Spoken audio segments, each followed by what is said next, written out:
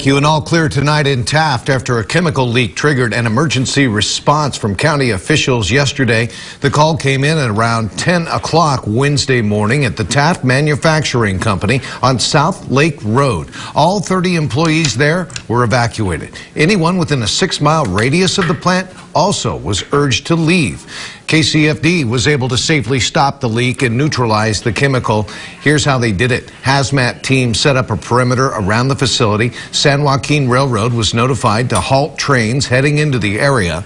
The fire department scouted the plant with a drone before firefighters went inside. They stopped the leak and then they spent eight hours going in and out of the plant, applying an absorbent compound to get rid of the chemical known as acrolein. They used air monitors to make sure the gas was clear before finally lifting evacuations. The source of the leak was inside a shipping container delivered to Taft Manufacturing.